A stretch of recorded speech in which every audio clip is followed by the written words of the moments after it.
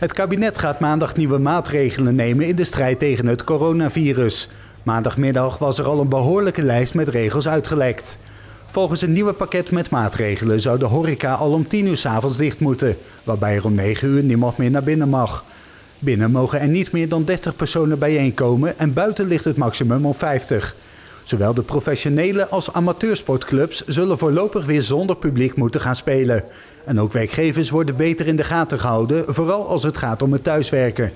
Als deze maatregelen daadwerkelijk worden ingevoerd, dan gaan deze op dinsdag om 6 uur s avonds in en gelden ze voor de komende drie weken.